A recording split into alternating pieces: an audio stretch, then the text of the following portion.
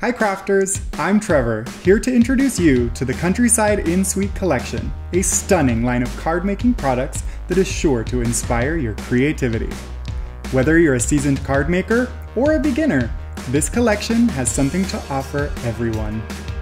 First up, we have the Countryside Corner stamp set. This image-only cling mount stamp set allows you to create beautiful backgrounds on your card fronts.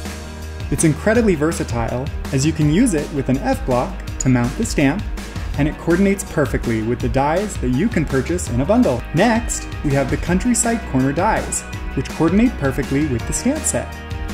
These dies are layering dies, giving you a multitude of options for your card making projects. They can be used as card front layers, peek through shapes, or even used together to create stunning frames. The Countryside Corner stamp set gives each die a beautiful border when paired together, making it an essential addition to any crafter's stash. Moving on, we have the Countryside Inn Designer Series paper. This beautiful paper is a generous 12 by 12 inch or 24.5 by 24.5 centimeter size and is perfect for card making. Three of the designs feature a unique cracked china look that adds a touch of elegance to your cards. The blue and white color palette is stunning, the paper features both floral and woodland animal patterns. Finally, we have the Countryside Inn embossing folder.